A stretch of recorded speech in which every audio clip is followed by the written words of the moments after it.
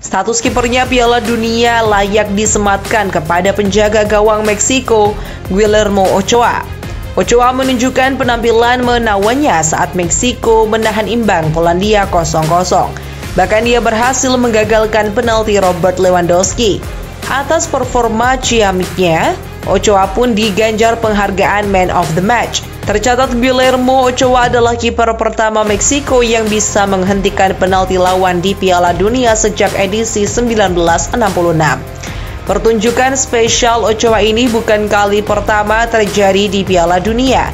Pada gelaran empat tahunan sebelumnya, Ochoa hampir selalu menyuguhkan aksi-aksi impresif di pertandingan. Dia berulang kali keluar jadi pahlawan Meksiko di laga-laga penting. Bahkan ada netizen yang membuat kalimat unik, Piala Dunia boleh beda, tapi Ochoa tetap sama.